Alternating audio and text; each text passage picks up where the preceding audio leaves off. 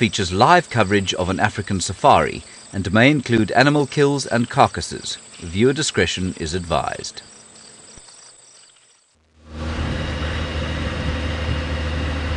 We're on a roll, we're driving around, who knows what we're going to see. This is Safari Live.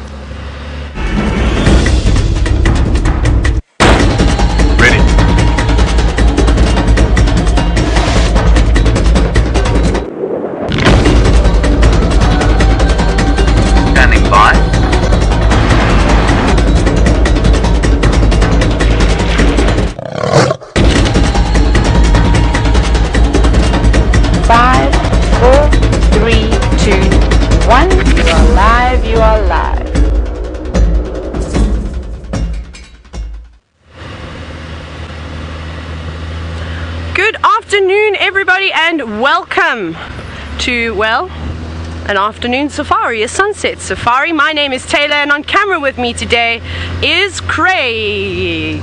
And well, quite interesting. I'll tell you a funny story in just a moment. Anyways, we are hoping to find all sorts of wonderful animals out on safari today. It's been exceptionally hot, so you can guess it. We're going to be checking watering holes to hopefully find some animals going down to quench their thirst. But this is a live and interactive safari. Yes, it's happening right now, and you can ask us any questions you'd like to about coming on a safari, about the animals. Perhaps you'd like to see a specific type of bird, and you can do so by hashtagging Safari Live on Twitter. Right, let me tell you the funny story. Um, so, Craig and I thought we were doing pre show. Hey, Craig. So, we did the entire pre show as well. With absolutely nobody listening to us. Craig is now in hysterics. He's laying down. He's laughing so hard. Yes.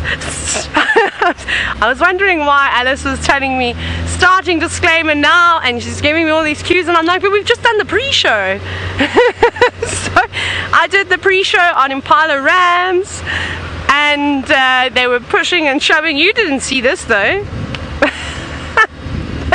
So funny. But anyways, yes. Well, well, at least I'll warm my voice up, I suppose. I think first things first is um, we're going to go and have a look and see if we can maybe find some elephants. I'm in two minds this afternoon if we should maybe just pop onto Gowrie Main and just have a look and see if that young male leopard that crossed south perhaps has come this way and also to see if there's any movement of those wild dogs. They also crossed south not too far from here so they could have come back the same way. So that'll be quite exciting. Obviously, I think we just missed those wild dogs this morning not by very much. Like I said, well, we briefly saw the tracks. It was difficult from the angle at which we were.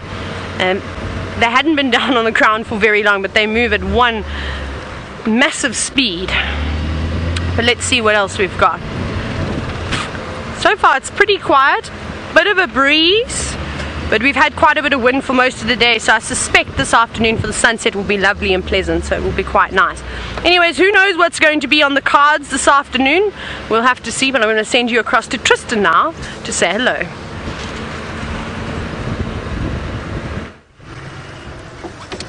Well, good afternoon, everybody, and welcome to our sunset safari with me, Tristan, and Sebastian on camera. And well, it couldn't have gotten off to any better a start possible because we have found very fresh male lion tracks. They're on top of my vehicle tracks from this morning. I drove here this morning, and there were no lion tracks here this morning. So it means that we have a male lion somewhere on Djuma. The tracks have come from Arathusa Simbambili side, and they seem to be coming here and walking southwards. But I just lost them now, so I'm trying to go a little bit further forward to back where I last had a track and see where he's gone. Maybe he's just gone off the road and lay somewhere close by here. So I just want to make 100% sure before I carry on and choose a direction as to where to go. There's lots of great places for a lion to have a rest, and I see his tracks are right here. So he must have walked here, Seb. Now, I'll try and show you the tracks that I'm talking about. It looks like he went off in this direction here. Maybe he's lying under these guarri bushes. But these are the footprints that I'm talking about just on my right hand side. They're coming down the road. You can see there's a nice big set of them. And so those were not there this morning. And they don't look very large in that position. And I'm going to get out and I'll just show you just how big those are by using my hand. Hopefully, he's not lying right next to the road and he eats me, but I doubt that he will. But if we have a look, I'm going to put my handprint next to it. And it hasn't come out very clearly, actually, so I'll have to just kind of squish it in there to make it visible. But there you go. That's my handprint as opposed to a big male lion's track. And so he must be here somewhere because I checked the road a little bit to the other side here and there was no sign of any male lion crossing that side. So I think he might be lying in these guarri thickets somewhere on my right, left hand side. What I want to try and do is I'm going to try and just quickly just do a little off-roading through here and just check some of these areas because from there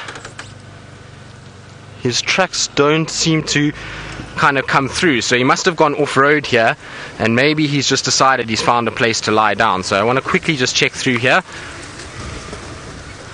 And there's lots of perfect hidey holes for a big male lion to lie down. And if he is flat in this longer grass it's going to be quite a struggle to actually find him and to be able to see him. So we're going to just do a little loop round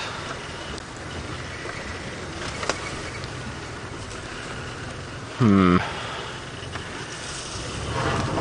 I would have thought we would have been able to see him if he was lying, especially now with us off-roading. Given that it's probably been quiet for him all day, he might have just popped his head up to listen to what's going on. So Sorry, Seb, it's going to be a bit tight in here. Watch on the left, there's some buffalo thorns. Now remember, this is live, it is interactive, so it does mean that you can get hold of us. Hashtag Safari Live on Twitter, should you want to ask any questions.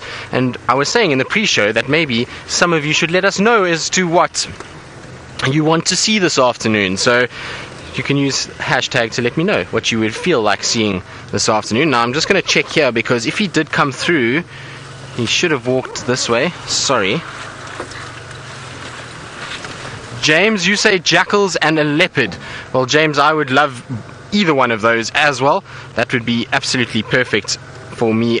I wouldn't mind. I'm not going to say no to a big lion though either. I can tell you that much. If there is a male lion here, I certainly will not say no to that. So I'm just going to quickly just check these power lines and along this way. Now, Dave, you say Hosana, and hopefully he'll be around. We had his tracks this well, what I think is his tracks this morning. Herbie had them crossing into Little Gowrie, but you know with Hosana he walks around a lot during the day, and so could very well be already back somewhere outside sitting at Twin Dams or Treehouse Dam. We know he likes to frequent both those areas. Um, no, nothing here. So, Patrick, you're asking how we tell how fresh tracks are. Well, in this instance, I know because I drove here this morning, so I know that this lion has walked since I drove this morning, which means that it's got to be in the morning time. And we know from lions that when they walk in the mornings, generally they're going to find somewhere to lie down and they're then going to nap. And so they will be fairly fresh. When I say they're fresh, I'm talking about they're pretty much going to be ones that are worth following, that's for sure. So those are the reasons why I say fresh. Um, in terms of other factors we would have used, we would have used wind. Wind blows a layer on top of those tracks. So those tracks have been slightly disturbed by wind because during the day we have had a breeze blowing. So they're not from this instant, but because it's warm, I know that wherever this lion walked, as of about 10 o'clock, if it was still walking, it's going to have laid down. Much like what we saw with Tinyo yesterday, gets to a point where it gets too warm for them and they get tired and then they then flop down unless there's a reason to walk. And if there's a reason to walk, it's normally if something's being killed and they go then and trot that way. And we haven't heard any sort of buffalo in distress or anything like that. And so the likelihood of something dying is very, very slim. But I honestly don't know where our male lion went from where we last had those tracks because they just disappear from here. So he must have carried on going south towards Impala Plains. I want to just check the main road quickly, which is going to be tough because as you'll see, a car is now going to grace our presence. Three, two, one. There we go. There's a car going past us. And so that will have driven over a lot of the tracks during the day today. But I'll go and just check quickly and see if I can't find any sign of this male lion somewhere here. I'm hoping that his tracks haven't crossed out like the leopards have been doing over the last few days. But it's encouraging that there was nothing on the power lines. If there's nothing on the power lines, it tends to suggest this line is pushed deeper into Djuma and is hopefully then lying up maybe somewhere here around Impala Plains. There is another big sort of drainage section on our left hand side, and these people are busy reversing, so maybe they've spotted our male lion friend somewhere here. They see they're busy pointing into the bush here, so it could be that he's somewhere in this direction. His tracks were coming in this way, so I wouldn't be surprised if he is here somewhere on our left hand side.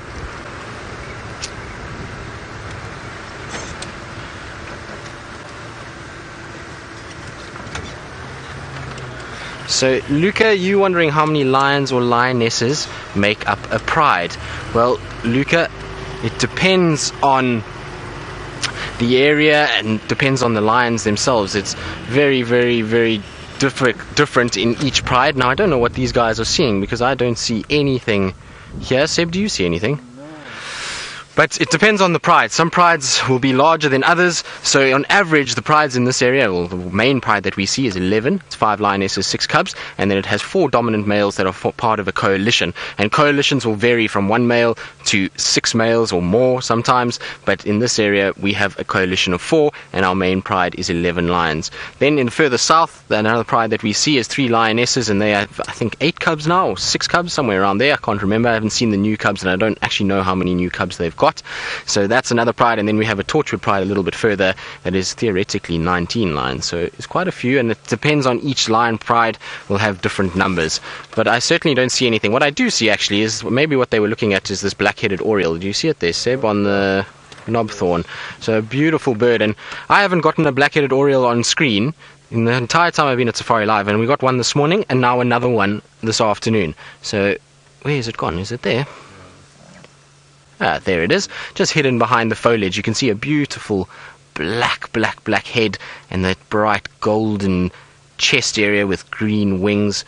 It is one of my favorite birds, Archer. And then that red eye. And off he goes. Listen to his call. There we go. So nice to see them. And that is the male. The female is a little bit more drab. She doesn't have that black head like he does. Right, well, I don't see anything here in front where these people would have reversed to see. Maybe they spotted the black-headed oriole like we just did. So we're going to carry on and see what else we can find and see if I can't find this lion and where he went.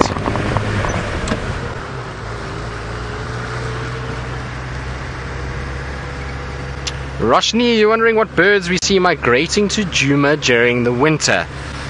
Phew. Hang on, now I've got to think about this. Not many that I can actually think of. Um,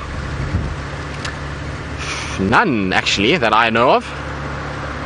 Seb, do you know of any? No, I can't think of anyone off the top of my head. There might be, but I definitely can't think of any of the top of my head at this stage. The reason why a lot of our birds migrate away from here is because of how dry it gets in our winter. So birds are not fond of dry areas because generally dry areas means less food and therefore very difficult for certain animals to find and to sustain themselves or certain birds should I say. And so they typically then migrate to wetter areas. So I can't think of any. I'll try give it some thought and maybe I'll remember one or two but I at the moment really off the top of my head can't remember any. And while I try and sort of think about all of this let's go back to Miss McCurdy and see where she plans on looking for these crazy painted wolves that she wants to find this afternoon.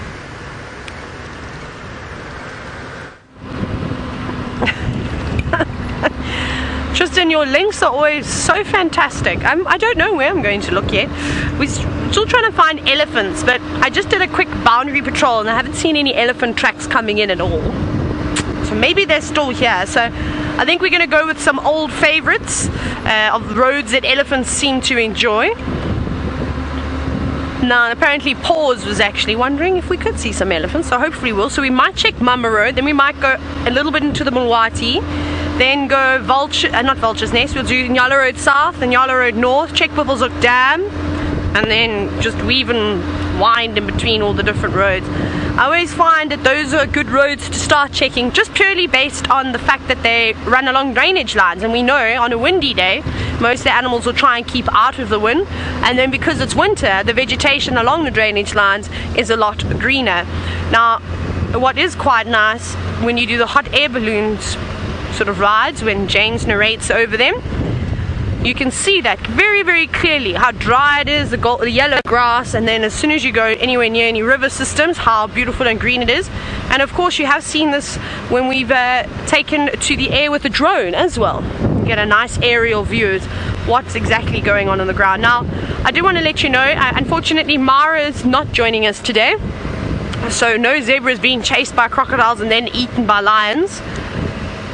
How amazing was that sighting? Sure, I think that that zebra was obviously not meant to make it past today. I think that's when you know that it's your time. Right, we're not going to go down this one. No, that's Leadwood. I want to go on the next one. We'll just go up a little bit further and then we'll see. I actually can't believe how much the wind has picked up. It's very unusual for this uh, time of the year. Typically we only get wind in about August, September. It picks up. So to be having it in the middle of winter, I find particularly unusual because last year it was still warm, you know, temperatures um, quite high, anywhere between 68 and 78 degree Fahrenheit, and but not a breath of wind not a cloud in the sky, nothing like that. The weather is different, but there are a couple of, you won't be able to see them because they're behind us. There are a couple of cirrus clouds in the sky, which typically mean that bad weather is on its way. So maybe the coast is building up to another cold front. Maybe we're going to get the, the tail end of it. So it might mean some clouds, and maybe that's why we've got a bit of wind. But, anyways, right. I hope Tristan manages to find that lion. It'll be nice. Yes. Now, Roshni, you're wondering if summer would be a better time to build up your bird list. Most certainly. That's when we see some amazing migrants coming through. Uh, so yes, Roshni. What's Craig? Is that a stump or what's that thing? Do you see what I'm talking about? If you zoom straight down the road, there's something it's a stumposaurus. Now, you see that marul, not the big marul on the left, but the, the little stump that's sticking out. That actually, for a moment, from where I'm sitting, looked like perhaps a leopard standing on the edge of the road looking over the grass. Well, that's what I was wanting it to be, but unfortunately, not a leopard. Yet another stump. At least it wasn't a termite mound this time. I feel as though the termite mounds have got me. So sorry, Roshni. Yes, um, you'll still see some nice ones now. I was actually also trying to think when Tristan was answering the question, what birds come migrate for our winters? I also can't think of any. I don't know if we get any, but also it could just be slipping Tristan and our mind. We did also play a game of hacky sack uh, before the safari this afternoon, so maybe that's why our brains aren't working too well because we're exhausted kicking that around. Was myself, Tristan, Connor, and Craig and we worked out that four people in hacky sack is a much better number, much easier because we were attempting to do it with three and, and trying to play it at night and it was a disaster. We weren't very good at all. but we've got better now. We did some great moves. Okay, this is all old old evidence of elephants. This is from the other morning. We might actually have to do a, a Mulwati cruise. Hang on. Oh my goodness, he's done it again, hasn't he? How does he do this, Tristan? He always manages to pull so, all sorts of things from underneath his hat, and he's, and like I said, he has done it again. So without further ado, let's go across to Tristan and see what he's got. Well, Taylor, I just rubbed up against you during our happy, hacky sack game this afternoon and took all your lion luck just for this afternoon. So there we go. Look at that. We have one of our Birmingham boys lying down. So super happy. It wasn't far off where I last had his footprints. We knew he would be somewhere around here. Once we did the edge and knew he didn't cross out, he had to be somewhere here. And so we have Nhenha who is lying down having a really good rest. And I would have imagined this is going to be the case. You can see his belly is somewhat full. So he was obviously with Tinyo at some point. I know there was at a point two male lions on that zebra carcass, so he must have been the other culprit. And he's definitely got a fairly big bump on his belly, not quite as big as what Tinyo had yesterday, but still enough to make him go into a coma with the heat and food, and he'll just kind of sleep it off until a little bit later. But the best thing about this is that well, hopefully it'll be exactly like what Taylor had yesterday, and later we'll be able to hear him roaring again a bit later. Laura, you say so cute. Well, I don't know if I, male lions are cute. Uh, there's ma-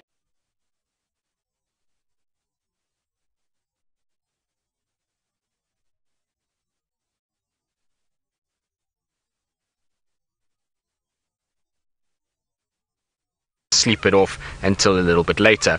But the best thing about this is that, well, hopefully it'll be exactly like what Taylor had yesterday, and later we'll be able to hear him roaring again a bit later. Laura, you say so cute. Well, I don't know if I, male lions are cute. Uh, there's many to see him doing his runway strut. Hopefully, he'll get up and start strutting around, and we'll have to then give him a score and judge him on his runway walk. I'm pretty sure it will be very good. He tends to have the swagger. The Birmingham boys all do. They kind of have this little hip bounce that they do, and it's pretty cool to watch them walking around. So, very, very, very happy to find them. That's an unexpected surprise. I really, after this morning when we drove this area, I thought, no, there's no chance that we're going to be able to find this Birmingham boy. And so, super excited that we managed to actually get him. And thank you for walking around during the day, Nhenha. That's very nice of you. Look at the size of those paws. He's got massive, massive feet. It's quite interesting with the Birmingham boys, and I would love to actually see all four of them together again, and just more than actually seeing all four together, tracking all four together, because there's definitely we find tracks often of the Birmingham boys, and there's a marked difference between some of them. There's one that has very small feet that almost looks like a female's track, and then there's Nhenha, who has a, quite a large foot. When we were tracking him just now, I was just looking at it, and he actually has quite a big foot. It's not quite as big as some of the feet that I've seen. The Matimbas used to have massive feet, but it would be interesting to see which of the four actually has the biggest feet. Now, Justin, you wondering which is the most dominant of the four Birmingham boys? Well, Justin, this is an interesting question and one that I don't know if we can actually answer at the moment. We've seen so little of the Birmingham boys lately, and, and particularly within the groupings of females that we see, we haven't seen who's been mating, we haven't seen who's been sort of looking after cubs, and so it's a difficult call to make as to who is dominant at the moment. We know that Tinyo spends a lot of time with the Nkuhuma Pride. He tends to seem to like the Nkuhuma Pride, so we know he's there quite a bit. But in terms of the dominant, most dominant one, I don't know. We know that Nsuku walks big distances and covers a lot of territory, which means he's the one that's and Mfumo as well, which are the two that are probably looking after these things and trying to sort of mark out territories and making sure that their area is safe. And Nhenha, well, he seems to just kind of bounce around. He pops up in the most random places. So it's difficult to say. I think what we need is we need a situation like we had last year where the Nkuhuma Pride spends a, a vast majority of their time here, and then we can watch the interactions of the four brothers or four, four coalition members together and see who actually dominates those situations. Faith, you're wondering if male lions are generally alone. Well, Faith, it depends. So in this situation, the Birmingham boys recently are very much on their own. They tend to like to spend time by themselves. Um, what's happened is, is they've established a really large territory and they have a lot of area to patrol and, and on top of that there's a lot of females to mate with so they currently are mating with the Torchwood Pride, they're mating with the Nkuhuma Pride and the Styx Pride, and that's a number of different females to cover and very large area that they're looking for. They're even getting the Salalas and the Mangheni Pride slowly filtering back into their areas. So it's going to be interesting just to see how that goes, and that means that they stretch quite thin. And so they each one goes off in different direction, goes to different prides, marks different areas, and they spend a lot of time on their own. If you have a smaller coalition like the Matimbas, they tended to be on together more often than not. So those two males tended to walk around together every single day unless they were in a mating situation where one would then break off with the female and they would spend a lot more time as a coalition um, together. The Majingilane males have always been males that have spent a lot of time together, even when they mate and they go and they feed on carcasses. Within a few days, they generally are back together. It's very seldom that we used to see the Majingilanes completely split up. We used to see at least two or three together at a time. So it was they seem to be a lot more cohesive as a unit. The Mapogos we know split with the Kinky Tail and, and Mr. T that came up into the north and the rest down into the western side and central parts of the Sabi Sands, and they formed their own little groupings together. And they were also very seldom on their own. Those two groupings. So it just depends on on the dynamics and the numbers, as well as the amount of area that they're having to cover. These guys just cover so much that they're at the moment spread so thin. They also haven't been tested, which means there's no reason for them to stay together. So George, this is also a, it, a sort of an interesting one. You, you're wondering whether a male lion with more scars is either more dominant or less dominant. It, it depends. And in a situation with lions, a lot of their scars can theoretically come from the from the females. We know that both Tinyo and Mfumo have suffered a few blows from the Nkuhuma pride when they were feeding on carcasses and during that period that they spent a lot of time here. And so some of the scars and cuts would have come from them, and that's no way dominance within the coalition members. But theoretically, what you probably find is the reason why Nhenha is not as scarred up as the other two is he and Nsuko tended they developed their manes a little bit quicker than the other two did. So their manes got bigger and bulkier, and that would have signified to those two, Mfumo and Tinyo, that these guys are slightly larger, bigger, and more dominant over them, and that's maybe why they've clashed a lot, the two of them, over scraps, whereas Nhenha and Nsuko maybe have fed a little bit easier and haven't had to fight with one another as much because their manes have dominated what's been going on. That's just a theory, it's in no way fact, and it's a difficult thing to say. I've seen some of the more dominant members, if you look at the Majingilane coalition, um, the one that's known as Smudge, the one with this sort of bare nose, he's got lots of scars and he's the dominant male within that coalition now. In the beginning, it was a different male, and that was the dark maned Majingi, and he had, you know, he didn't have as many scars at all. So it just depends also as how things go through their life. Now, I would imagine within this grouping that Insuko or Nhenha is, must be one of the more dominant one. So, James, the lack of buffalo in terms of affecting territories of these prides and coalitions, interesting. I don't know. I, I, and we've never had a situation, and certainly not in my time in the Sabi Sands, where we've had such a lack of buffalo in the area. It really is the first time that I've seen so few buffalo in as many months as we've sort of been watching this pr- procession or this development from the drought last year. So, to uh, to be honest, I don't know. I, I would imagine that yes, their territories they will try and push more and more and more to try and find the food that they need. But if there's no buffalo and there's there's competition nearby, in the Nkuhuma's case, the Torchwood Pride, that is keeping them at a certain place, then they will make do with what's there. So they'll start turning more to kudu, zebra, wildebeest, giraffe, um, impalas, those kind of animals to try and sustain themselves.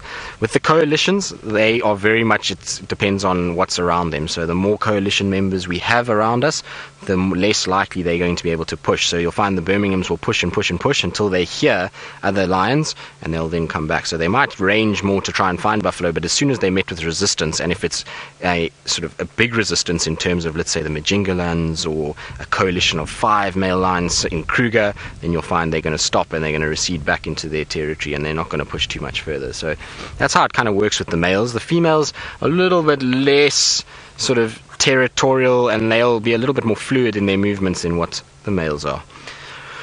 Well, we're going to sit here. I, I would imagine he's going to be very sleepy for most of the afternoon, so probably we'll sit here for a little bit longer and then go and carry on exploring in the afternoon and then come back around sunset time and see if he then wakes up. But while we do that and enjoy the peaceful sight of Nhenha having a nap, let's go across to Miss Taylor McCurdy, who I would imagine could give him some competition when it comes to a main challenge.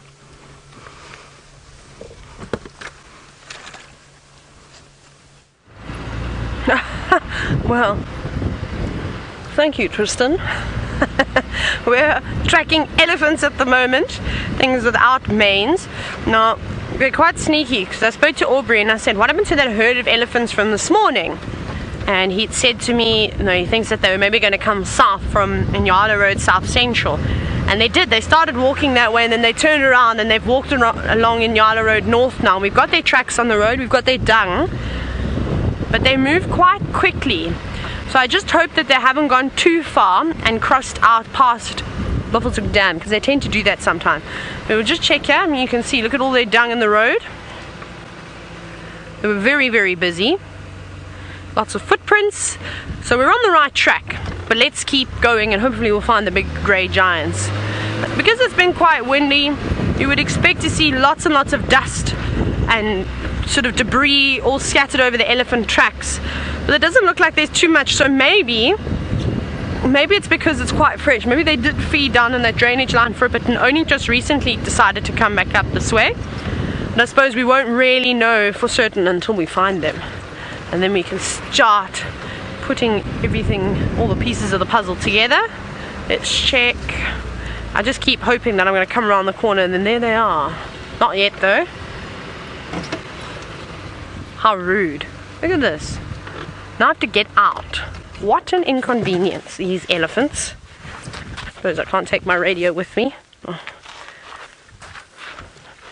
I got all tangled. Right, let me move this very quickly.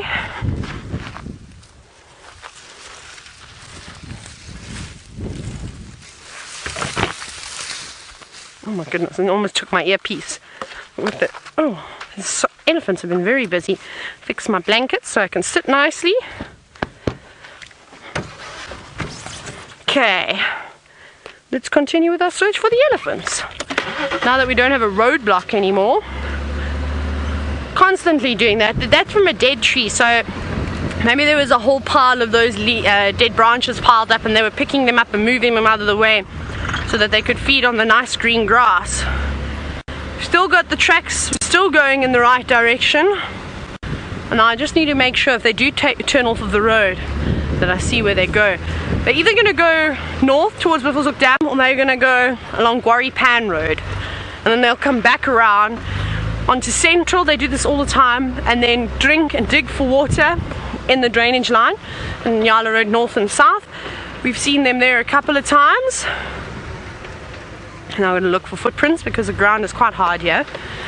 And they still seem to be going towards the dam. My goodness. They're moving quite a bit. Now, oh well, you're wondering if elephants have any predators. Yes, they do. Can you believe that? That the largest land mammal has got to worry about lions. Not in this area, they don't seem to hunt lions, but if you go up to uh, Hwange in Zimbabwe, wow, many, many, many opportunities to see lions taking down elephants, especially in the dry season. Um, so yeah, so there are prides that specialize, especially the larger prides of lions. As you can imagine, if you have a super pride of lions, maybe that have 30 or 40 members in, and they do exist, can you believe it? Then they need to catch something large enough. A buffalo just won't do it. They will all get a mouthful. It's like the equivalent of the Nkuhuma Pride catching an impala. It's really not enough to fill their bellies. They need to catch things like giraffe, like hippos, and then of course an elephant would be ideal. Now they're not targeting the big five ton elephant bulls because that would be virtually impossible. In terms of predators for a five ton elephant bull, sadly we as humans are the biggest culprits um, to to them, and then and then of course the younger bulls that are just recently being kicked out of the herd. They haven't quite established them. They're the ones that are at risk to lions. Elephant. Woo! I think we've just missed the breeding herd. Hopefully we haven't. All their tracks. Hopefully we haven't. All their tracks are here.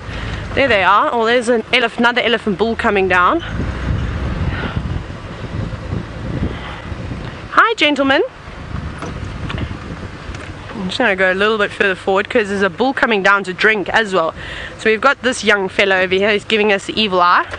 Oh, never mind. The other elephant is coming to us. See how he's smelling? He's not smelling us. He was actually smelling that other bull who's just on the other side of the dam. And they've obviously seen each other. I'm just going to duck for you quickly. I wonder if we might get lucky and see them pushing shoving. At the moment, that bull is smelling elephant dung, probably from the breeding herd. They've already come down and had a drink. We must have missed them. They could still be moving through the block and crossing Buffelshoek boundary. So he's trying to pick up on their scent now. He's spending quite a bit of time. See that?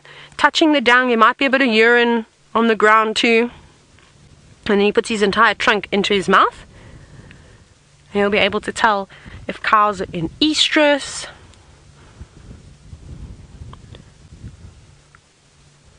Very nice. But now you can see, you can probably hear how windy it is as well. It'd actually be a good spot down in the dam where that Ellie bull is standing. It will be very sheltered. What I will try and do at some point is because we know these boys are here, and unless they're going to push and shove each other around or have a nice bath in the water, we might actually see if we can quickly catch the breeding herd because I think it's a particularly large group. Let's see what this fella does for us. Until you're gonna you're gonna drink. It's not very nice water to drink, but anyways. Now, George, you're wondering how far away can elephants smell water? Well, they can sense it underneath the ground, definitely. I don't know if they're necessarily smelling it from kilometers and kilometers away. I think what happens there is that the elephants remember. They learn the various routes um, that have been passed down from generation to generation. Some Egyptian geese also coming into frame. They don't want to be left out this afternoon. And I think so that whole thing of them sort of marching, sometimes it almost looks like they're running towards a watering hole. I think that's just them remembering that there was a pan here once, we've drank from this, you know, so many times that, you know, sometimes they're probably disappointed they arrive at a dam that might have been full at one point and a few months later it could be completely dried out. Then they might try and dig in that pan to see if they can get the water from under the ground or they'll have to move on and find another one. So I don't I don't know if they necessarily can smell it from kilometers and kilometers away. I'm surprised though that that bull is drinking this water because it's not very clean. Buffelshoek Dam. It's sort of I don't know. I, well, I suppose it must be alright, but elephants prefer clean water. I think that this other bull on the left is going to go and cause trouble.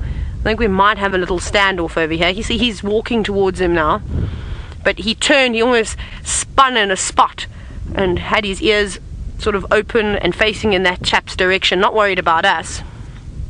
And they're both at that age where they think that they're the biggest, strongest elephants out here, but in reality, they aren't. They're probably in their mid mid twenties, I would say. Not anywhere near having the authority to mate with females just yet, but they don't know that. Well, they like to think differently. Yeah, I think he's going to go. Let's go up a little bit closer, Craig. I think while he's walking away, this might be a cool interaction. Can't see hippos today. I'm also just trying to scan to see if I can't see any movement of elephants going through this area. Mm, no.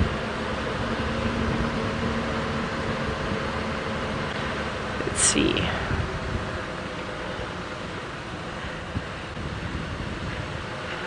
Now, a question from Rachel. Hello, boy.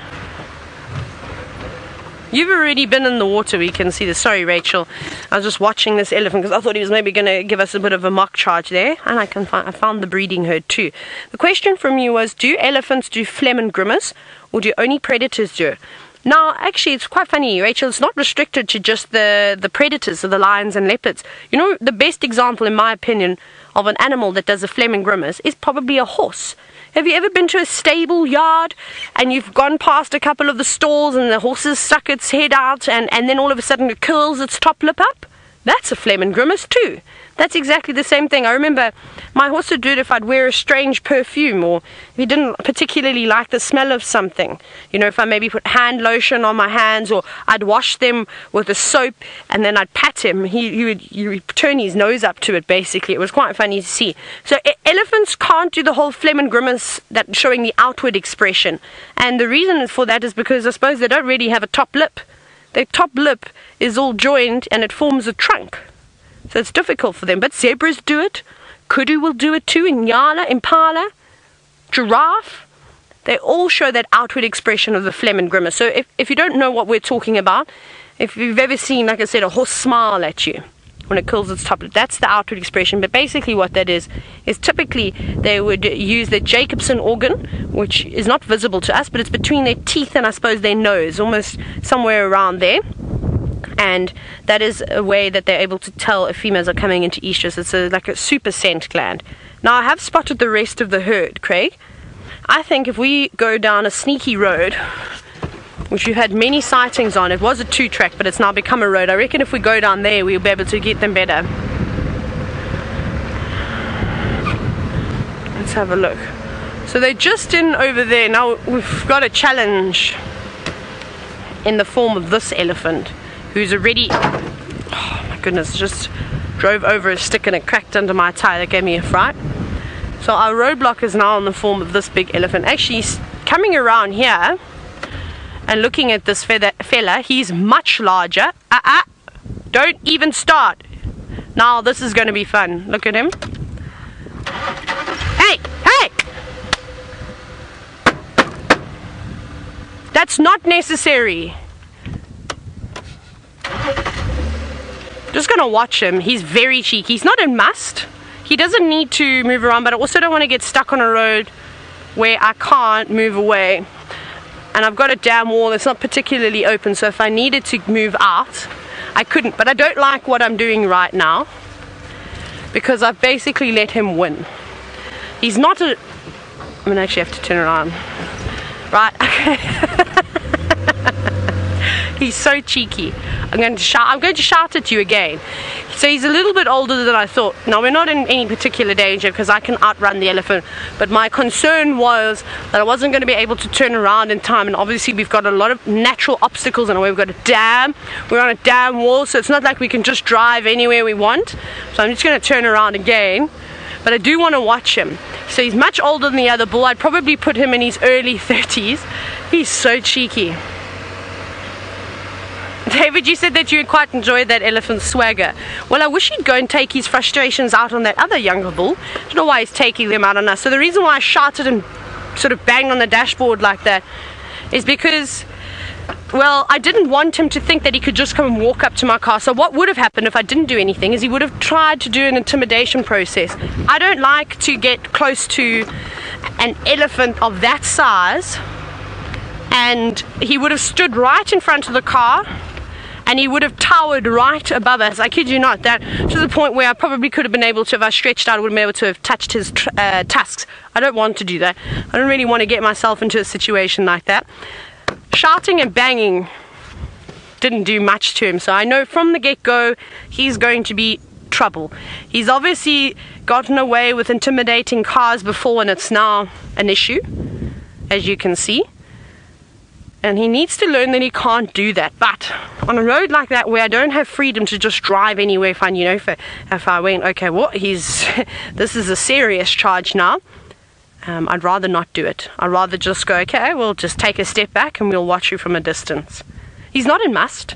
He's just a cheeky elephant bull that basically needs a hiding from a big tusker. So where's that massive tusker we had a few weeks ago that was hanging around on twin dams? We need him. Maybe he's also got his ego slightly bruised. Perhaps he's already been in and moving am- amongst the breeding herd, and the females have already chased him away. That probably maybe is another reason as to why he's slightly upset, and now he's taking his frustrations out on us. But we'll see what we can do. We'll see if we can get another view. We might go the scenic way around to try and find the breeding herd. But we'll go back across to Tristan now and see how his cat is doing.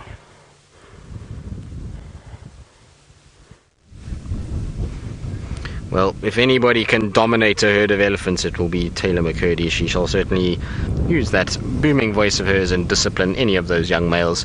So don't worry, Taylor. The war is not lost. You may have lost the battle, but you haven't lost the war, and I'm sure you shall have a beautiful sighting of the elephants going forward.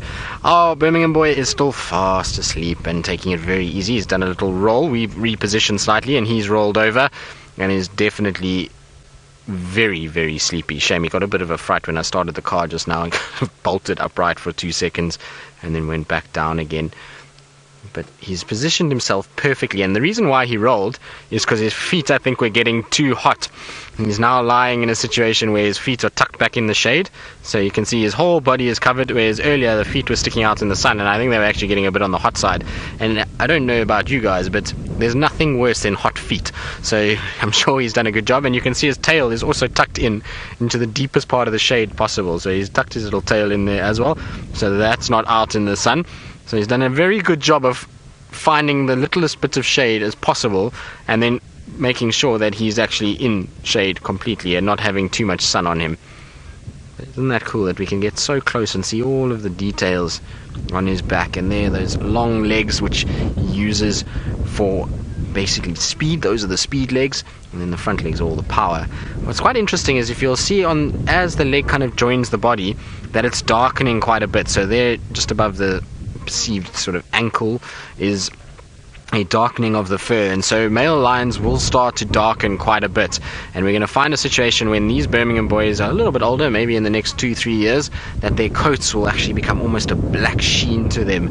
You see it a lot in lions in the desert areas, and I've seen it on the Mapogos and on the Majingilanes. Some of them start to get a bit more of a darker sheen to them. There was one lion actually in the Sabi Sands that used to have a very, very dark coat, and his name was the KNP male, so he was a male right down in the south of the reserve. Some of you might remember him as Freddy, for those of you that have been watching for quite a while. And he had a very, very dark sheen to him. He looked almost like one of the Kalahari lions. He was a beautiful lion. And unfortunately, his coalition partner got killed by the Mapogos. One, I think it was one of the last sort of. I don't know if it was ever confirmed, but it was one of the last run-ins that they had was with the Mapogos, and his coalition member then disappeared, and he was left on his own, and he soon got ousted by other younger males, and ended up being sort of a retiree and nomadic in the Kruger for a while, and then eventually passed away and disappeared. So he was probably one of the darkest male lions I've seen, and, and then Hairy Belly Matimba was also quite a dark boy.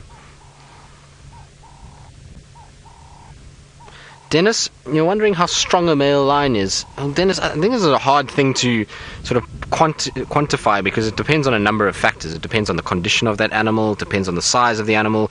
Remember, it's much like people, there's genetic differences between each lion, and some will be bigger than others. You'll find that some will be bulkier, some will have, you know, a taller, longer structure.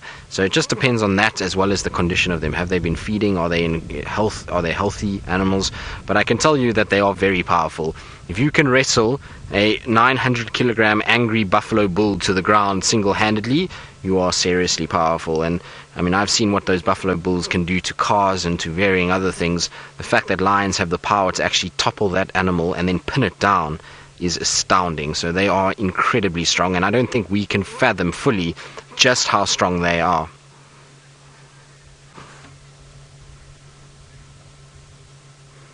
So, Justin, sorry, I missed a, a little bit of your question there. Alice, it just broke up. If you can repeat for me. Ah. How much damage could his claws cause? Well, it depends on what we're talking about. If he's going after something with a tough hide, like a buffalo, or we're talking about something like us, because we are like a soft steak with a hot knife through butter. That's pretty much how his claws would damage us. You'd find big, massive gashes all over you. You'd be lacerated before you can even blink an eye. But in terms of the harder, tough animals like zebras and buffalo that have these thick, tough skins, you often will find evidence of where a lion has clawed at them, but it doesn't leave big gaping wounds like you would see on a human. So it just depends on the on the actual animal. I've seen impalas that have been attacked by lions and they get lacerated and big thick gashes. Sometimes zebras. We had a zebra here on Safari Live at the beginning of the year that was had a massive chunk of skin taken off the side of it. So it just depends. I mean, us as humans would never be able to withstand his claws. A swipe of his claws would cause huge, huge damage to us, and you'd be left with big, big cuts. But in terms of a buffalo, your skin's a bit thicker, not so much. It also depends on how he goes about it. You know, when they attack an animal, generally what they're trying to do is they're trying to just grab it and pull it down. So the claws are kind of being put put in, and then they're being held there. Whereas if he was going to swipe at you like they would when they fight, you would have a situation where you'd probably have a, a lot more of a sort of damage being done to you. If you had a situation where you know he kind of clawed at you and, and followed through with that clawing, you'd probably get a massive sort of laceration wherever it hit you. Whereas when they're catching things like buffalo, then you know they're just kind of grabbing and holding on to be able to anchor that animal and pull it down rather than actually swiping through it. And that's why you see a lot when they fight with one another, big cuts and lacerations around the face. And why male lions have big manes is because of that. So as they sort of strike out with this paw, it hits around the fur collar, and the fur itself will be pulled out, but the actual neck and head of the animal will be actually okay. So that's why he's got that collar of fur, and like I say, you wouldn't want to be on the receiving end of that clawed structure. But just as we predicted, he's going to be very sleepy for the next little bit. It's already cooled off quite a bit since we've been parked here. The sun is losing that bite that it had when we started the safari, and I would imagine within the next hour he'll probably sleep for the next hour, and then he'll start to make up, wake up. I don't think he's going to be sort of down for the whole afternoon, but he's definitely going to be quite sleepy for the next little bit. It's hot enough that he's not going to move around. So what I think we're going to do is probably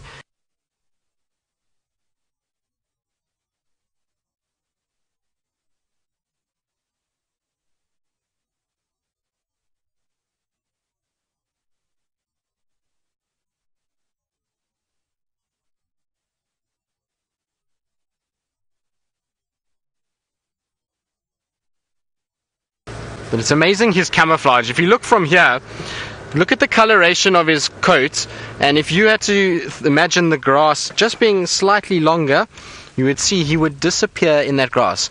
Look there, that's the view that we have of him as we're driving. Luckily, he was facing the other way, so we had the darkness of his mane showing, but it just shows you just how well they blend. And when we're trying to find these guys in thick, deep grass, it's almost impossible. They are perfectly, perfectly colored to be able to blend in. So there we go. Fast asleep. Ah, Roshni, you're asking if I've ever encountered a lion on foot. Well, Roshni, many times. I've tracked quite a few lions on foot. I've had quite some entertaining experiences and some rather scary ones too. And it's yeah, it's never for the faint-hearted. This particular male lion, where we were tracking and where I was off the car just now looking at his footprints when we started the show is probably I would say from here maybe about 300 meters. It's not very far from where he was at all. He was just on the other side of a bushy thicket. And so the thing about lions is when you approach them on foot, most of the time, particularly here in the Sabi Sands, because we do a lot of tracking and there's a lot of trackers out here at the commercial lodges that are on foot, the lions are pretty used to people and they know that the people are not something to be too scared about because we don't chase them off their kills, we don't hurt them, and they generally kind of see you and they just watch you. And if you come too close, their immediate reaction normally is to run and to try and just sort of get some space between them and you, and then from there they'll assess. But if they have something like cubs or food, then you'll find a situation where they can be very aggressive and you have to be very careful of what you're doing. So, we'll have to try and think of some of the stories and some of the sightings that I've had. I'll tell you about some of them just now, but before we do that, I think Taylor has managed to discipline that naughty elephant bull and has sorted out the herd and has hopefully now got a much better view.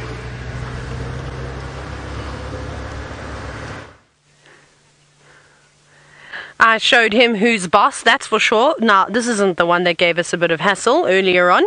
This is the first elephant we saw, the younger one. Even he is hanging back and steering clear. Now, it turned out there was an even larger elephant bull, too, hiding amongst the leaves. But he's come out, and him and the naughty bull have walked off in the opposite direction. I'm just watching that they're not going to sneak back up towards us because that won't be fun. I'm not really worried about this youngster. He hasn't shown us any aggressive signs at all. And like I said, I think he's also just trying to stay out of trouble. That first elephant does just have a bad attitude. And hopefully, next time he's with vehicles, he won't react like that because that would give anybody a heart attack. Now, Jordan, you're wondering if I can tell the difference between a mock charge and a real one. Most certainly, it's pretty easy. That elephant, what he was doing, he was really just trying to intimidate us. But like I said to you, he wasn't going to stop. He would have come right up to the car because he actually started running when I turned the car on and he was coming towards us. So I didn't want to get myself into a situation where he was standing over the car because I feel as though if you get yourself in a spot like that, very tricky to get out of, especially if he just turns and goes, you know what, I've actually had enough of you now. So I made the decision to move away and rather use my voice. I, I would have preferred to have banged on the side of my door, but I don't have a side door because the sound of metal well, is not something that is found out in nature and it intimidates the animals quite easily. Uh, you can see he's obviously been shouted at quite a few times because he really didn't respond to my voice at all. So I reckon many of the guides in the sands have probably done that. But this fella is lovely. He's really sweet. He's got a lovely nature about him. Maybe there's an underlying problem with the elephant that we don't know. Maybe he's had bad experiences with cars and he's just decided, I don't trust you lot. You need to earn my respect. Well, you know, respect comes from both sides. You can't just approach me. It was like the equivalent of somebody walking down the street and then running towards you and then also reaching into their jacket. Of course, you'd panic straight away. And you naturally want to act defensive. But he's moved on now. I shouted at him once more and then they disappeared and they walked off in the drainage line. So thank goodness for that with with this fella. I didn't want to have any trouble with him.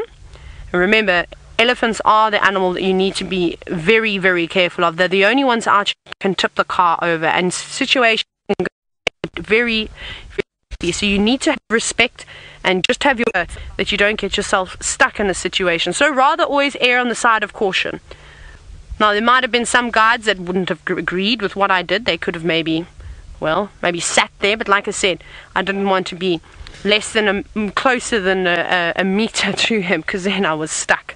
you saw I had to actually turn around. It would have been quite difficult to have reversed over the dam wall. I wouldn't have felt very comfortable in doing that. But this fella is having a great time. He's gone, finally, I'm left to the entire dam all by myself. Sonia, you say that this elephant looks like he's pretending to be busy. I think he's having just as much fun now. What I'm going to do is, Craig, let's reposition slightly. I'm going to go down and we'll look at him on the other side. Now, there's a road that runs all the way down. We've actually had a couple of sightings. Tingana was here the other day, well, the other day, maybe a week ago, because this Ellie had a swim. It was quite nice to watch him. We can also see how deep the water is now, too. Hello, boy. Isn't that so beautiful? Now, I hope he doesn't go around the corner. Hopefully, he stays out here. So there we go. He's not quite in the center of the dam. That is probably about, I'd say, a meter and a half deep or so. So what's that?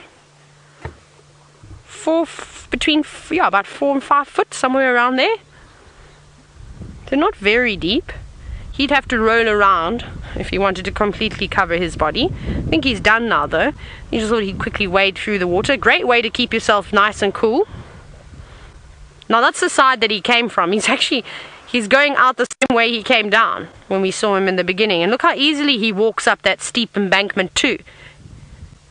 Elephants don't need 4x4. They've got natural 4x4 tread underneath their feet. It allows them to go up many different substrates. And so much power in their shoulders and then their hindquarter. It's as if they've engaged diff lock and can quite comfortably move up a steep hill like that. He's having a great day, isn't he? He must be feeling quite happy. But now you can see the water level. See how it's just underneath his tail? That just shows you how deep that water is. Yeah, I'd say about a meter and a half. Maybe actually a little bit more. Maybe closer to two meters. Just thinking if I were to stand next to him, he's not he's not big though. He's not big like that other bull that we saw. He's slightly smaller, somewhere around there. But a give or take. And off he goes behind the bushes. That was quite nice. At least we got our elephant fix. Hopefully it's not the, the last elephant fix for the day.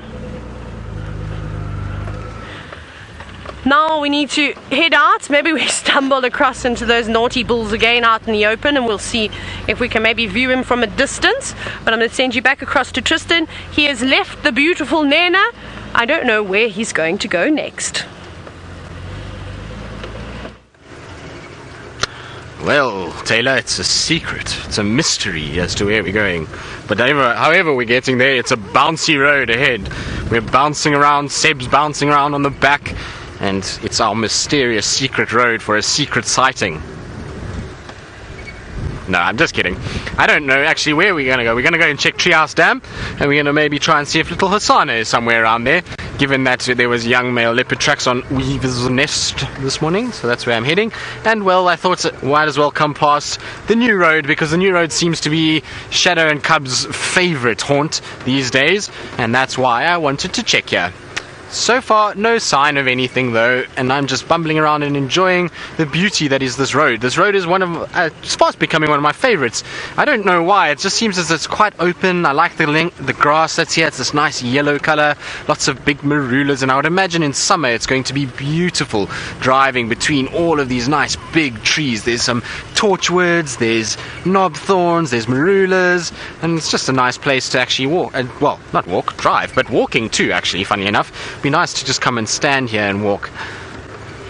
Well, not stand here. That is completely makes no sense. You can't stand and walk at the same time. Well, you could, I suppose, if you did a handstand and then moved your legs. Would that count as standing and walking, Seb? Yeah. Yes. Good luck with that. Okay, well, we'll have to try and see if we can do it one day. Today's not the day because I think I'll probably fall on my face. I'll have to practice, I think, first before I try. Good uh, at the same time.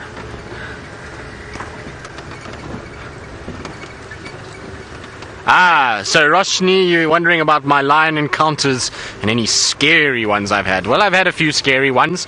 They're probably the scariest one was the first time I ever walked into lions, and this is probably just because it was the first time, and I was petrified as it is as this little training ranger, new to the bush, out of Johannesburg in the big smoke, and really not knowing what the hell I was doing out here. I was just kind of doing well, learning really, and it was not very fun at all the first few times. You're petrified when you walk out here.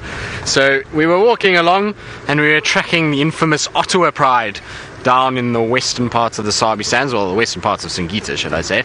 And at that stage, they had two females that were rather grumpy. And Scott Dyson will be able to attest to this because next time he's live, we'll ask him about the Othawa females, and he'll definitely have a story or two, I'm sure, about their lovely temperament that they had. They were such calm, placid girls.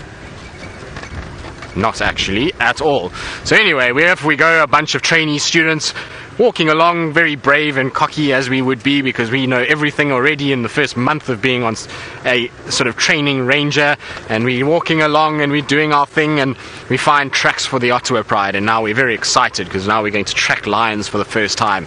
And so we begin to track the lions and we walk and we walk and we get to a big deep drainage line and we approach the drainage line and we walk inside the drainage line and we find all these tracks for these lions approaching a bend in the riverbed. And luckily, there was some sense in amongst the group, and our trainer was with us. And he decided, no, no, no, you lot, you're going to get yourself killed. Do not walk in the riverbed. You need to go out of the riverbed because there's a big corner. And what if the lions are on the other side and you bump into them? So we duly go up the bank, walking, all cocky, walking along, walking along, and no one's really paying attention now because we're up on the bank and it's no, nowhere near as sort of tight atmosphere and nowhere near as scary being out in the open section.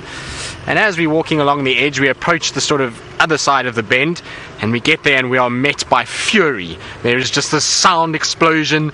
There's these lions come bolting out of the riverbed straight towards us. There's two lionesses, teeth bared, tails going, and are very upset. And they run straight towards us and they start snarling and hissing. And luckily, I was not carrying the rifle. I was second in the line of people, and we had to stand there. And you kind of never know what your reaction is going to be because they always tell you don't run. But let me tell you, when there's 250 kilogram or 300 pound cats bearing down on you with teeth exposed and tails whipping about and growling and sound like as though hell is coming towards you, you then kind of stop and you notice what's going on, and either you run or you stand your ground. And luckily, all of us stood our ground, and the lionesses then went running back to where they came from and then back again. And every time they ran back to where they had come from, we would try to take a few steps back, and eventually we got to the point where we were far enough away that the lionesses stopped. And the reason why they charged us is because the Othawa Pride had recently given birth to new cubs, and it was the first time these little cubs had been taken to a carcass, and it just so happened to be a carcass of the same animal that is standing directly in front of me, a wildebeest. And so they were very upset about the fact that we had just walked into this pride, well, this dinner scene with cubs, and those females took very big exception to that, and they then came charging out at us and made sure we knew exactly who was boss of what was going on, and that that food was not for them. So that was my introduction to tracking lions. It was a quite a sort of serious one, and luckily no harm was done to either lions or ourselves, and we were able to get out unscathed. Since then, quite a few of those kind of moments where lionesses have charged to that point where they are no more than about a meter or two meters away from you. I find the lionesses are a lot more grumpy than the males. They tend to be the males tend to give you a bit of a warning, but they're not too bad.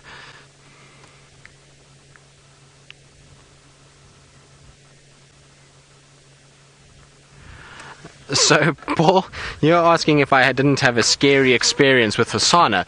Paul, I wouldn't have described it as scary, more as fascinating.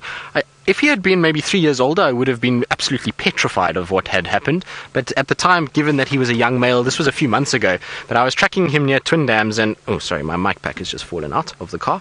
But I was tracking him a few months ago and we tracked him and I was walking along and I came round a bush and there was Hosana lying right next to me, I, no more than the end of the car from where I was walking. And he kind of trotted off a little bit, maybe about three meters, and then turned and just stared at me. And I thought, well, okay, now it's time to walk off. And with leopards, generally the rule is, and all the trackers that have told me, is that you don't stare a leopard in the eye. You just kind of, if you see it like that, then you just pretend like you haven't seen it and carry on walking. So this is what I decided to do. But little Hosana thought maybe there was a game to be played because every time I would try and walk, he would come following behind me and not walking, he would trot behind me. And if I turned and then stopped, he would stop and just watch me. So it was a bit unnerving in the fact that he was following and kind of keeping up with me. But it was in no way an aggressive situation. He didn't once snarl, he didn't do anything. But had it been three years later and a big male leopard, I would have been a lot more scared of what was going on because that's not behavior that you want to see from a big male leopard because he'd easily be able to sort you out. So it wasn't too bad, and while it was a sort of interesting experience, I wasn't in any way scared throughout that one. The other interesting one I had was of the Nkuhuma females, and they are generally a very placid bunch. I've walked into the Nkuhuma females countless times, and they're normally not too bad. But last year was also quite a funny one. My tracker and I, we had seen quite a lot with the group, uh, the guests that I'd had at the time, and we were really kind of enjoying our afternoon of just bumbling around. And we hadn't seen we'd seen lions, but not very well. And all of a sudden, we were driving, and there was lots of vultures. And I had seen the vultures before, the day before, and no one had really followed up in that area. And I was on my way somewhere else that I didn't actually go and check, which is a lesson that you should always go and check things and make sure. So we decided this afternoon we would go and have a little look and see what was going on. So we went trundling off into the bush and walked and walked. And we must have walked maybe about, I would say, 300 meters off the road. I would walk 300 meters, and we found there lay a dead kudu.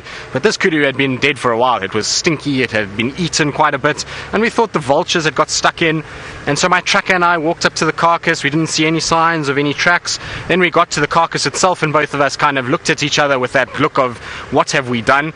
As we both noticed very clear tracks for lionesses right next to this kudu carcass and we thought whoopsie this is not good.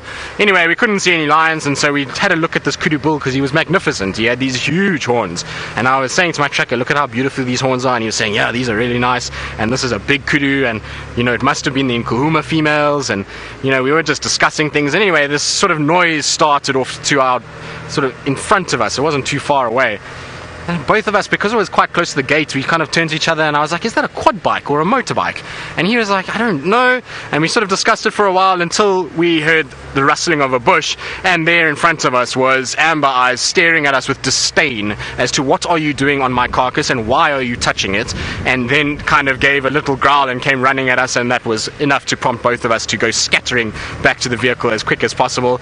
And it turned out to be Amber Eyes and the youngest female were on this kudu kill to the, together and it was quite a quite a scare we got. So that's there's some of my more sort of hairy moments with lions. I've had quite a few where they've moved off.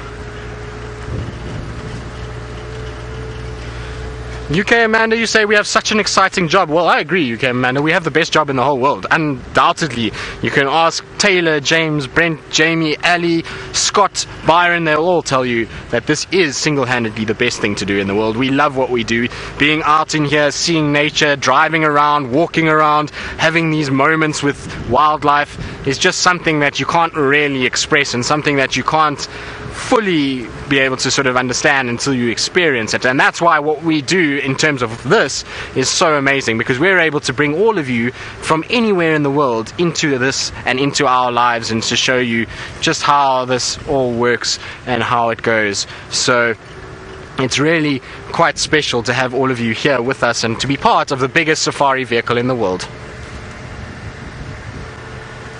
So, George, you say I tell a good story. Well, I don't know, George. I, I'm not the best storyteller. They are far better. James Hendry tells a very good story, I must be honest, and Scott Dyson, too. They both are excellent storytellers. And I, I know that Brent also can spin a good yarn when he wants to as well and spin a good story. So, I kind of learned from them, I think, but I'm not the best storyteller by far. The camp is riddled with other characters that tell much better stories than what I do. I just kind of tell what I had, what happened to me, and they make me happy and make me excited and make me sort of remember all of these fond things, and so maybe that's why they come off well. But thank you very much for your comment. I appreciate that.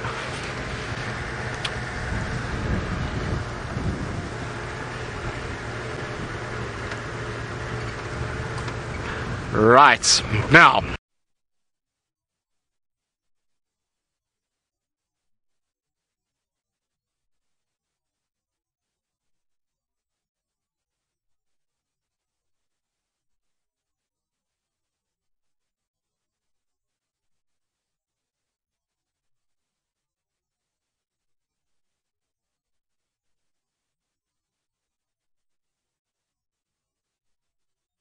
To the top of that branch. Are you going to do a good job? Doing a pretty amazing job. Craig, do you think you could balance up there on that tip of that branch like that bird? Uh, Craig says possibly. Perhaps it's because he's Batman and he's had some special training. There's a whole lot of them around here. There's actually one that's just, oh no, where are you going to land now? There's a couple of them. They're quite sociable birds. There's about three or so of those white crowned shrikes, and then there was a drongo hanging about too, but they keep flying off. Lovely birds. So, what we're going to do now is we're going to go check the hyena den, so we're not too far away. Obviously, we tried this morning, we didn't have any luck when we were looking with for animals that started with an H. We had to go back to the old hornbill. So we will try again for hyenas this afternoon. But I'm just trying to think. I haven't had too many hair-raising encounters. I've had two serious charges with elephant bulls, and that's really about it. I've been charged by a black rhino once on the middle of an open area as well. Can you believe that? Mm. I think that's really it. On foot, so? Where? Oh yes, and Craig just kindly reminded me that I was once almost killed by a buffalo too. that happened. That happened right outside camp too. That was an exciting experience. Don't ever want that to happen to me ever again. Um, and then on foot I've been charged by lions. It's not too bad, but like like Tristan was saying, it's very difficult to tell yourself not to run. And even when an elephant bull sort of mock charges you or shakes his head, that's intimidating. But you really can't go anywhere then. Obviously, you've, you've got to stand your ground. But it's intimidating. Very, very intimidating, especially when you're looking up at an elephant. Not fun. So we try and avoid situations like that. But luckily for us, Oh yes, Alice has just uh, fed through to me now. Uh, Tristan, I think Tristan's a little bit confused though about my, the buffalo charge. He said at Chele Pan, so it wasn't at Chele Pan. It was with David. David, I'm always with with uh, David when I have animal charges since I've been here at Wild Earth.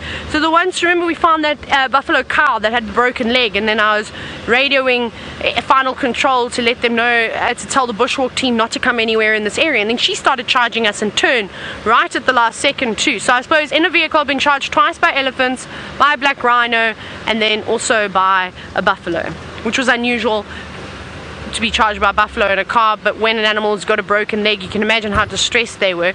And we weren't even planning on viewing her either. We were just purely giving the update as to where she was and we are going to leave her alone. And I wasn't concentrating. Well, I was obviously looking down to find the radio, and that's when she made her move. So you've got to have your wits about you, even in a car. And that day made me nervous because she was coming straight towards me and there was there's no door here. So I was getting ready. I was climbing like this to the other side because the car wouldn't start and I thought, well, there goes our opportunity to try and move. So I was just like, oh well, she's not going to turn the car over. I'll just sit on that side, on the other seat, and then she won't be able to get me. But luckily, those side, those things have happened in. Gee, all those sort of things have happened only in the last few years. Not right at the beginning, except one of the elephant encounters. Come on, hyenas. Oh, where are you? I don't see them just yet. Oh, yeah, I see you. Hello, friends. I see two little hyenas. Now, it doesn't look like the adults are here, so we'll only stay for a little bit and then we're going to have to move out. Me just pull off to the side. Let me go a little bit further forward, Craig, so you can see the, the youngest one the youngest hyena cub, just sitting to the left of Ntima. Oh, they're looking so tired. They must be enjoying the last of the afternoon sun. Oh, okay.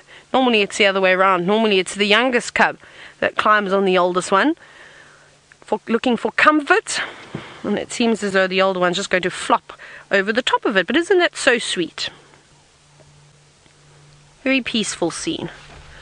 Now I wonder where the adults are because the last couple of times I've popped in I haven't seen them around. Perhaps they're busy elsewhere swatting flies. There's lots of flies out today, I suppose because it's nice and hot. And they don't seem to be interested in us at all this afternoon. Well, not yet. Maybe at some point. Go away, fly. Get out of here. You've got the entire whole of Africa to fly around. You don't need to fly right next to me. Flies. One of the most annoying things here. I'm going to have to get a guarri bush today, I reckon. But this is very, very nice, of course, and I'm sure that you're all very happy to see these hyenas. You had a nice sighting with Tristan this morning, I think. Did Tristan have a sighting with hyena? When was that yesterday? No, that was yesterday. Sorry, where the hyena's wanting to bite his tires. Now, Barbara, you've said that you love hyenas. Oh, look at that face. Isn't that so precious? They are so sweet when they're this age, so fluffy.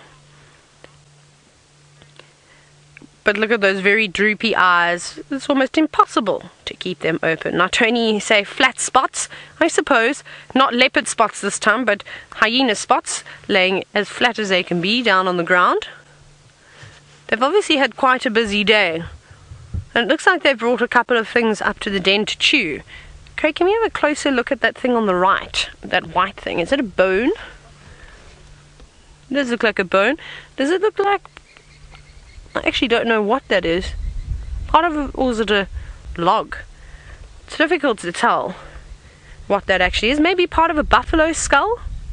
The horns, maybe, and then that part is the actual skull. I don't actually know. There's lots. uh, Just the reason why I'm thinking that is before the, from that coloration, and then I also know how many buffalo the Nkuhumas took down in this area. So it's definitely a possibility.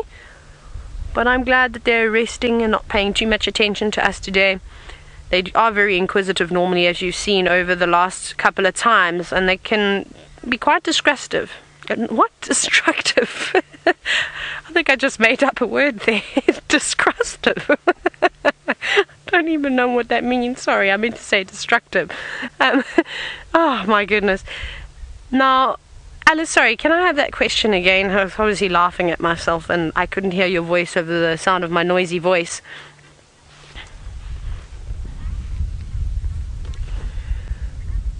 Now, it's a question from Rachel, and it's why are the hyena cubs outside of the den if the adults are not around? Well, they do have freedom to sort of move around within the den. They're obviously told by the adults, you stay put, you're not allowed to leave the house. They're basically under house arrest, if you think about it. They can't go anywhere. Um, but at least they've got a nice home to live in. Um, so they will come out, they'll play, they'll chew on things, they'll walk around a little bit. It's not uncommon for them to go and wander. We see them, they come right up to the cars sometimes and smell the tires and all those types of things. Sometimes chew on the tires too, which we don't want them to do. Um, but it's not a problem that they're outside the den, and that's why we don't want to stay here for too long. So I'm actually going to move out now because the adults are not around here, and it's not fair on them to not have parental guidance in case something goes wrong. Right, let's reverse now. Hello, Carsten from Denmark. Let me try and turn here. Bye. We'll see you. See you soon. Uh, you're wondering at what age are hyenas considered? Sorry, Craigie. Luckily, it's just a guarri tree. What age are hyenas considered adults? I'll get. Uh, I'll get there eventually. Sometimes it takes me a bit of time, especially when I'm reversing to get to these questions. Um, trying to think now. I would say. I would reckon around two and a half, three years old. You could probably consider a hyena to be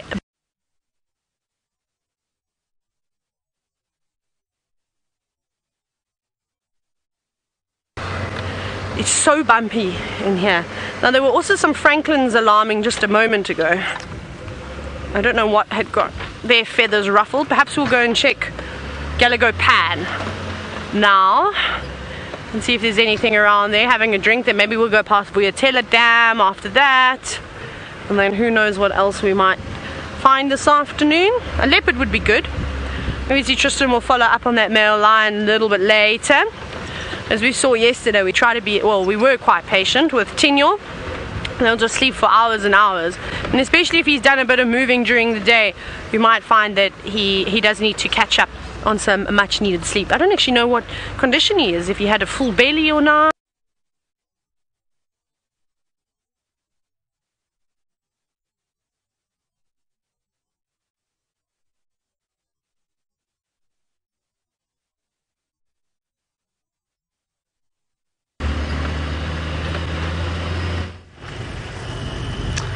Taylor, you're gonna have to guess where I'm driving. Maybe Alice can describe what she sees, and maybe you'll be able to guess where I am.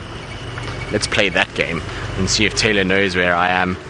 I know where she is because I just got told she was at the hyena den, but whether she's going to go north or south from the hyena den is anyone's question. But she came from Buffelshoek Dam, so I'd imagine her next bet is going to be coming southwards. That's what I'm going to call. Am I right, Alice? Did she turn left or right out of the den? Oh, Alice is not answering me just yet. Hmm, decisions, decisions, Alice. You're going to have to get this right. She turned left. Woohoo! We were right. She turned south. Well done. Now I wonder if she can guess where I am.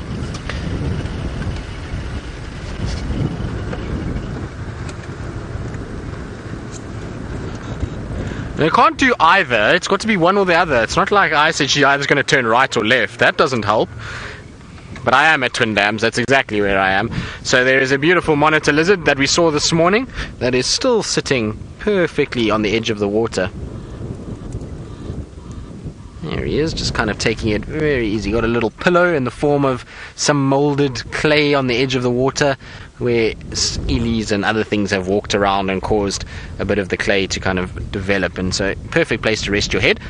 Hello, monitor lizard. Oh, are you sleepy? Look at the size of those claws, aren't they amazing? You would think for a lizard they wouldn't have such big claws. They almost rival that of some of the cat species. You'd uh, imagine actually a leopard claw would be probably of a similar length to what you see on that. Maybe a little bit bulkier than what the monitor lizard's got, but similar length. And they need that to be able to grip on sand. And when they climb trees, we know monitor lizards, both rock and water monitors, are very, very, very good at climbing any type of tree.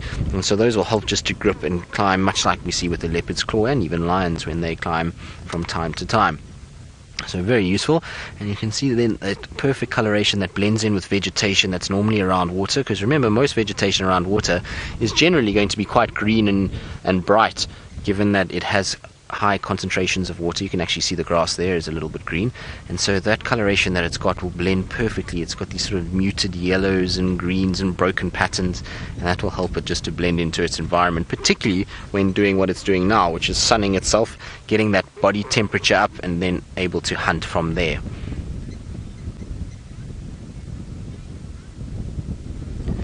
Jenny Animation, you say our monitor lizard is being monitored. Well, yes, it is. Look, it even notices it's been monitored. Hello, monitor lizard. What have you seen? Isn't that a eye? Hunter, the monitor lizards are quite interesting in terms of what they eat. They have got quite a wide array of food items that they go for. Primarily, what they'll go for though is eggs. So, varying types of birds that nest on the shores of water. So, the lapwings um, that we see here, plovers, even ducks to a degree, they'll go after their eggs. They'll also get the odd insects. They sometimes even scavenge off carrion. You'll see them getting into, stuck into some carrion from time to time. Small fish, if they can get hold of them. Frogs are a big part of their diet. So, quite a varied array for the water monitor. The rock monitor is more eggs and small mammals and insects. That's what that will feed off. And even sometimes snakes. I've seen them go after snakes from time to time too. And other lizards, particularly smaller lizards like the striped skinks, rainbow skinks, those kind of things. They do go after them sometimes too. But look at that. That's such a nice view of one. And that beautiful afternoon light just bringing out those colors.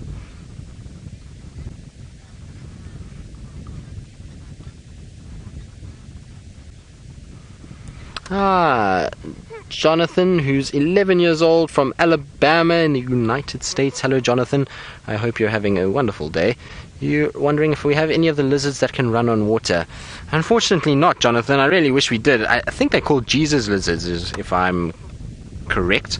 But they, or yeah, I think it is Jesus lizard. I'm not, I'm not 100 percent sure, but they, we don't get them here, unfortunately. I, I really wish we did because it looks phenomenal to watch these lizards run across water. They have those big webbed feet and they spread their toes out, and that causes a massive amount of surface area that can keep them buoyant enough to then paddle across and run across water. So unfortunately our monitor lizards can't do that, but what you will find is you see how long the tail is on this lizard, Jonathan? It's got a very long tail, and that means that this lizard can swim very well. That's like having when you go into the water and if you put on fins or flippers, you might know them as, and you go into water and you kick with them, you can feel that you can swim faster. And so imagine having very long tail like that, much like a crocodile, it helps to push this lizard through the water, and it's able to move quite fast through the surface of the water, but not on top. So, Kim, this monitor lizard is not as big as it's going to get. This is still a small monitor lizard. In fact, I would say this is about half the size of some of the ones we do get out here. Their tails are very long, so this one looks much longer just because its tail is sticking out, but it is still fairly small in comparison to some of the other ones I've seen here. There are some monster monitor lizards, particularly the one that moves from Twin Dams to Gari Dam. We often see its tracks along the road. That is a very big lizard indeed, and probably I would say maybe not double but one and a half times the size of this guy. So they still will get bigger. And the rock monitors, while they don't necessarily get as long, their tail tends to be a little bit shorter, but they do get much heavier set than the water monitors. Big, thick necks and heads and bulky legs that they move around on land, and you'll often find them in the trees walking around. Yes, we are talking about you. There's something sort of cunning about lizards, don't you think? They, the way that they look at us, it almost looks as though they're up to something and plotting and scheming, almost conniving type creatures. I don't know why I always get that. Maybe it's because of the way they sort of squint their eyes slightly and close their eyelid a little bit that they look like that. So, David, you're asking if they're territorial. David, I'm honestly not sure. Um, I do know that they do compete quite heavily over females, which generally is typical of a territorial animal, but I'm not 100% sure. I might be wrong in saying that, but I know that they do fight quite a lot with one another. Males will often go up on back legs and grab each other, bite each other by the neck, whip with their tails. It's quite something actually watching monitor lizards fight. It gets very rough, and you'll see them twisting and turning and rolling around and even rolling off banks like this into water. It's quite something. So I think they are territorial, but I'm not 100% sure. I might be wrong, and I'll actually let me see if I can't find out for you while I'm sitting here.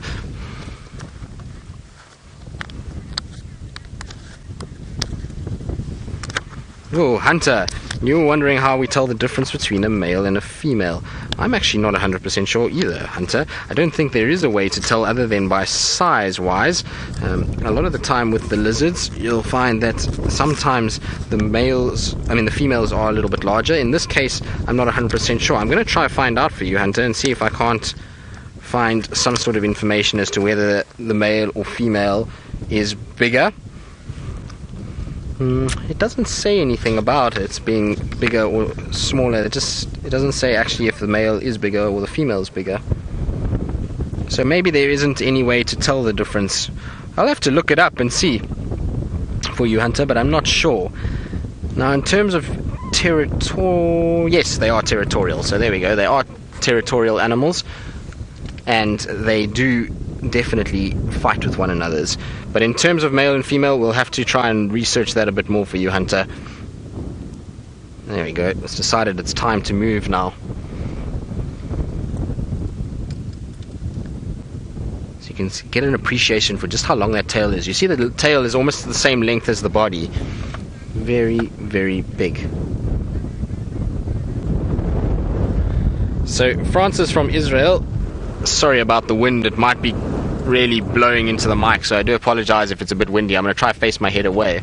Um, Francis, they mostly are seen on their own unless they're mating or they're in a territorial dispute for a mate. The most I've seen together is five, which seems to be a whole bunch of males coming towards a female, and they were then maybe wrestling with one another. There was lots of sort of fighting and chasing of each other, but generally, yes, on their own like this, it's very seldom you'll see monitor lizards together um, unless Where are you off to, though? Running out of space.